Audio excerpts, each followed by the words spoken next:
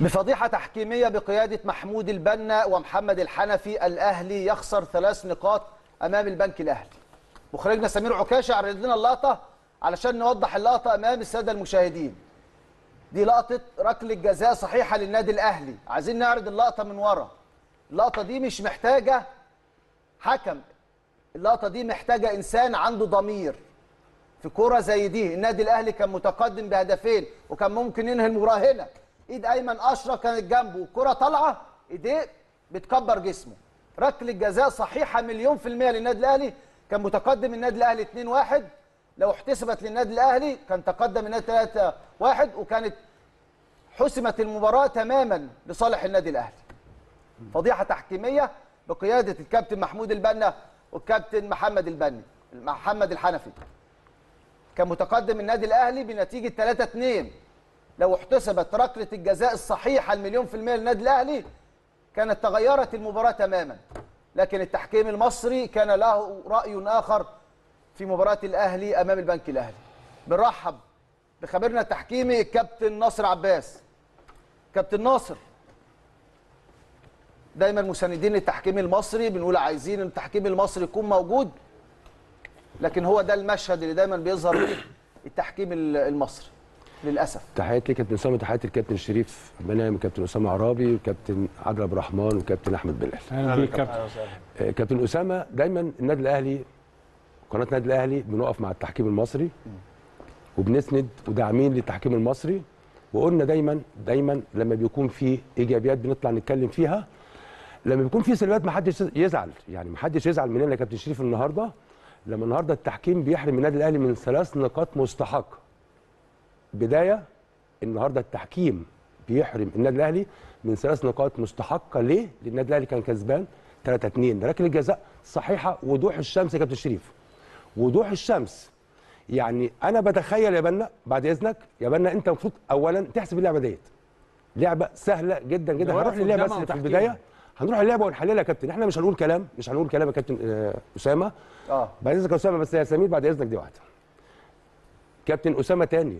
النادي الأهلي كسبان 3 2 ركلة جزاء واضحة وضوح الشمس. هل طيب. الحنفي والبنا نتيجة المباراة ما خليتوش يحتسب ركلة جزاء صحيحة للنادي الأهلي؟ يا كابتن ده حق آه، النادي الأهلي. ولو هي للبنك الأهلي هنقول الكلام دوت سواء للبنك أو الأهلي. ولكن دي ركلة جزاء ما فيش فيها أفصال يا كابتن بلال ما فيش ابدا فيها حقيقة. أنت بتتكلم في ركلة جزاء الإيد بتخرج خارج نطاق الجسم ساعة ما الكرة بتتلعب. يعني لو الإيد النهارده في جنب في جنبك يا كابتن أسامة والكرة اتلعبت وجت وهي في إيدك وجنب في جنبك هنقول يستمر اللعب. إنما النهارده بتتكلم في إيه؟ الإيد كانت في وضع أيمن أشرف ساعة ما اتعملت يا كابتن. بلال الإيد طلع خرجت. إيده طلع طلع إيده. ركلة جزاء هو ده القانون. يا جماعة هو ده القانون. النهارده ركلة جزاء. والكوره دي ما فيهاش تحت فرصة من فوز من فوز. الكور دي ما فيهاش تحت فرصة عشان الناس تفهم. لا مفيش فيها لا تحت فرصة يا البنالتي كابتن. ما فيهوش تحت فرصة يا آه كابتن. عشان الناس تفهم. تعالى-. تعالى يا كابتن. تحت فرصة. ما فيش تحت فرصة في كوره زي دي. كابتن هنشرح اللعبة عشان يبقى كمان طيب. كلامنا خلينا مقنع مع كابتن نصر. تعالى يا كابتن واحدة واحدة كده يا سمير بعد إذنك. معايا؟ هنا بتتلعب الكرة من حسين الشحات. تمام؟ الايد كانت فين؟ ارجع تاني يا أسامة بعد إذنك. ارجع. هنا لحد دلوقتي فين؟ الايد يا كابتن أسامة. إيده كابتن بلال. جوه جسمه. خلاص جوه جسمه. آه. لو جت في الوضع ده يستمر اللعب يا كابتن آه شريف. فيهاش حاجة. ده إحنا متفقين على كده. هي دي. المعايير. هنمشي بعد ما الكرة طلعت وراحت اللي هي ال point of contact اللي هي نقطة لما الكرة جت في الإيد الإيد هنا كانت فين بره نروح بره جسمه نروح, بره. ماشي يا سمير ماشي شوف الإيد راحت فين يا كابتن أيمن أيمن أيمن أشرف شوف بس بالله عليك يا جماعة هذه هي حالة أنا بقول حالة فضيحة تحكيمية هو لحظة يا كابتن كلام. ناصر هو واقف الوقفة بتاعته دي هل مغطية على عليه ال- الرؤية؟ كابتن حتى لو وحتى لا، لو أكمل الحكم بس. يا فين عادل الفار؟ أنا هكمل بس فيها. كابتن ماشي. ما أنا عارف أنا. هكمل فيها بس ماشي. سؤال. آه ماشي. هو مغطي عليه؟ كابتن حتى لو okay يبقى الفار بقى يرجع له. هذه الحالة ليس لها مبرر يا كابتن. لا هي ليها مبرر واحد أنا عارفه. هم دائما النادي الأهلي لما بيكون كسبان حتة الفار بالنسبة لهم يقول لك لا ما حسبش عدي. آه عديها آه، حصلت معانا سنتين وأنا بحذر من هنا. سنتين حصلت معانا خسرنا 18 بونت من الفار في سنة. السنة اللي بعديها كسبنا 14 خسرنا 14 بونت من الفار. فمن البداية كده إحنا عايزين نقول إنه مش هت... مش هتفضل كده كتير يعني. المفترض إنك تديني حقي. كسبان 500 صفر اديني حقي. آه. كابتن كابتن أسامة تاني أنا أنا أنا حتى البنا لو قلنا إن هي الكرة الناس حاجبين يا كابتن بلال حاجبين. أنا أسأل سؤال الفار يا جماعة طب خلاص لو الفار لو مش لازمة ما تشتغلوش بالفار. النهارده الفار المفروض النهارده يتدخل يا كابتن أسامة. النهارده حالة من الحالات اللي المفروض النهارده الفار كان تدخل فيها. هجيب لك زاوية يا كابتن ناصر. يا ريت مخرجنا سمير عكاشة يجيب لنا الزاوية الخلفية. الزاوية دي يا كابتن ناصر دي واضحة للأعمى. بص هنا الكرة إيد أيمن أشرف بص الإيد هنا راحت فين؟ خرجت تاني بص بص. كرة بس بس بس تلامس. تمام بص يا كابتن الزاوية الخلفية واضحة ماشي. علشان كده بقول لك دي يعني. دي مش محتاجة حد الكرة نزلت دي تحتيه محتاجه محتاجة واحد عنده. عنده ضمير وقفت تحتيه على طول كابتن عملت أسامة. بامب آه. تحتيه هذه الحالة التحكيمية مخالفة لمس الكرة بيد يا كابتن بلال لو. اتعرضت على 20 محاضر 20 صحيح. محاضر إلى 20 محاضر كلهم هيقولوا إن دي ركلة جزاء صحيحة والله ما عاوزه محاضر أي واحد ماشي في الشارع عليها يا كابتن؟ ان دي ما فيش فيها المعايير عندنا يا كابتن بلال. المعايير واضحة جدا جدا. فيش فيها اختلاف يا كابتن أسامة. أنا بقول أنا بقول النهارده إن هذه المباراة في البداية ثلاث نقاط بيدوعوا النادي الأهلي. النادي الأهلي كسبان 3 2 ركلة الجزاء لم تحتسب. 4 2 ممكن. المباراة انتهت. النهارده المباراة بتروح من النادي الأهلي بسبب خطأ تحكيمي كارثي. واضح جدا. ركلة جزاء واضحة وضوح الشمس. بنقول إن أيمن أشرف الإيد بتخرج خارج نطاق الجسم كبرت حجم الجسم. ركله جزاء الحكم ما شافهاش أو شافها أو هو تمركزه خطا ده مش مشكلتي أنا. ليه محمد الحنفي ما استدعاش أنا هنا حكم فيها؟ الفار لابد إن هو يتدخل. آه يعني حضرتك أنت النهارده في الفار مع احترامي لكل أنت حكم كبير يا محمد وأنت حكم كبير. هات الحكم يشوف يا كابتن بلال. لو أنت معيارك إن يستمر اللعب فيها الحكم هو له القرار الأول والأخير فيها. هات الحكم يشوف وادي الحكم ياخد قراره. ولكن البنا ما شافهاش كده في الملعب.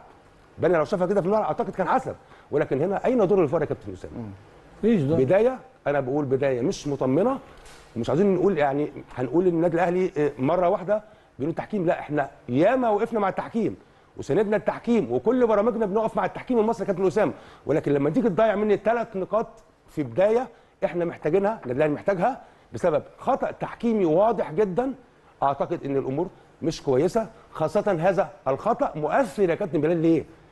كل مرة بنقول النادي الأهلي نتيجة النادي الأهلي وفوز النادي الأهلي بيغطي على الأخطاء التحكيمية. تمام؟ النهارده لا النتيجة النهارده النادي الأهلي خسر. وخسر بخطأ تحكيمي كارثي. لو الأهلي النهارده كسب كنا هنقول آه خلاص خطأ مش مؤثر. ويا جماعة راجعوا نفسكم لكن لا كده الكلام ده دي حكام لازم تتوقف ناصر. ده حكام دول ال- ال- اللي هم الدوليين دول اللي بيعتبروه من أحسن الحكام اللي موجودين عندنا. دي كارثة. دي الحكام دي لازم تتوقف. فاكر الدوري اللي كان من سنتين؟ هو ده اللي بقول لك. 18 point 20 2022 18 point خطأ أيضا كان أمام النادي الأهلي. مش خطأ واحد. محمد سلامة ال- الحكم وقتها وكان ال- الهدف لأيمن أشرف وكان هدف صحيح واحتسبوا ضد النادي الأهلي واحتسبوا فاول وقتها. أنا باحساسي بلقطة زي دي إن الدوري السنة دي بعد ما أشدنا بالحكام وبعد كأس الأمم وبعد ما كان في طفرة في اداء الحكام أنا إحساسي الشخصي إن التحكيم المصري رايح في حتة مش مظبوطة وباينة في اللقطة دي. لو في نية أو في سلامة نية النهارده محمد الحنفي يستدعي البنا يبقى في مشاورة في لقطة زي دي مش محتاجة تدخل أساسا. بالظبط. كابتن. البنا النهارده أنا بتكلم كمان يمكن البنا النهارده. كابتن البنا النهارده أنت حكم يعني من الحكام اللي إحنا آه، آه، يعني بنحترمك كحكم وإحنا بنقدر إنك أنت حكم كبير. لكن النهارده كمان البنا النهارده في المباراه كابتن أخطاء إحنا ما جبناش الحالات التحكيمية. أخطاء شد أخطاء مسك أخطاء فيها بطاقات إنذار في بطاقات عقوب- عقوبات انضباطيه ما فيش الكلام ده النهارده البنا كمان. تيجي بالخطأ الكارثي. إحنا قلنا كل الأخطاء دي اللي هي الصغيرة يا كابتن بلد بتعدي. مفيش مشكلة. ولكن لما يبقى هذا الخطأ وهذه الإيد اللي هي في وضع خارج خارج تاني بنقول ركله جزاء واضحة وضوح الشمس. ما ينفعش ما تحسبش. بعد إذنك يا كابتن ده رامي ربيعة رايح ياخد الكورنر بتاعنا. الراجل شادد الفانيلا ها؟ بيشده من الفانيلا. عادي جدا وبيجري بيه ورامي بيجري بيه. ولا جابوا دي. حاله من الحالات اللي إحنا يعني كابتن دي معانا الحاله دي. بقول لك بتتفرج حالات عليها. معانا.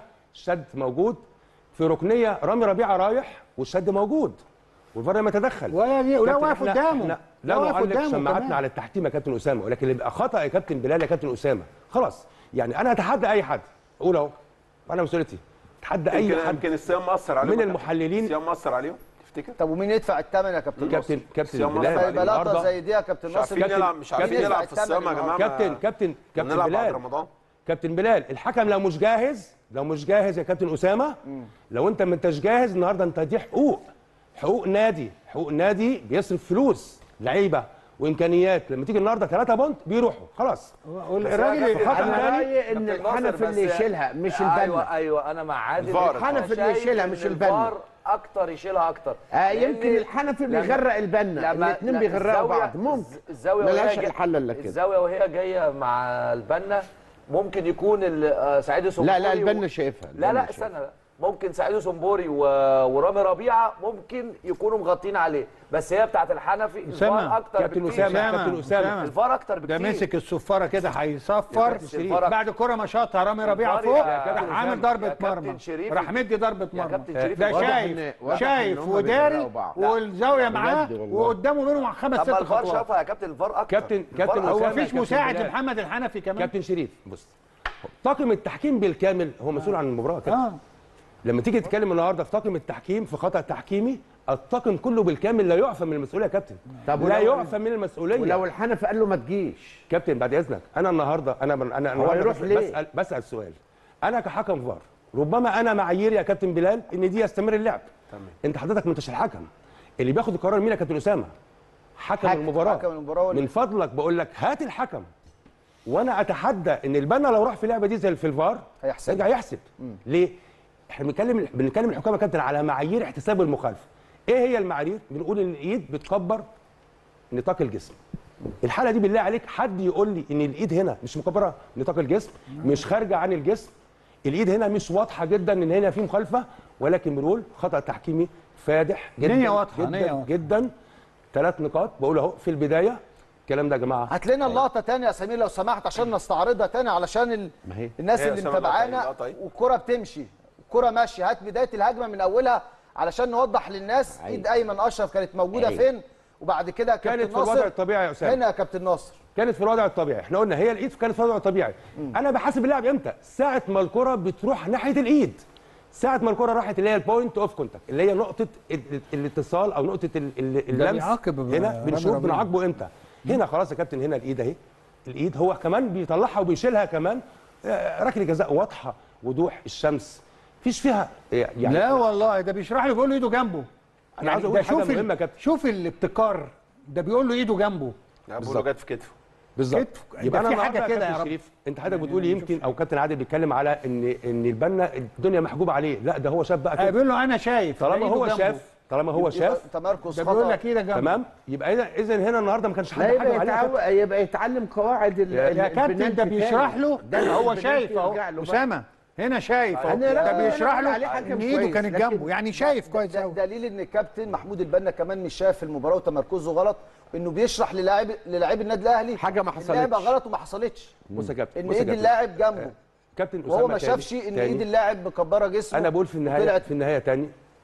ثلاث نقاط راحوا. حرام عليه يعني. ثلاث نقاط. مجهود فريق راح. النتيجة كانت 3 2 قبل. ركلة الجزاء. بالظبط. لو اتحسبت ركلة جزاء كانت النتيجة هتكون 4 2 بنسبة كبيرة 4-2. كانت المباراة حسمت تماما. خلص. إحنا بنتكلم النهارده التحكيم النهارده؟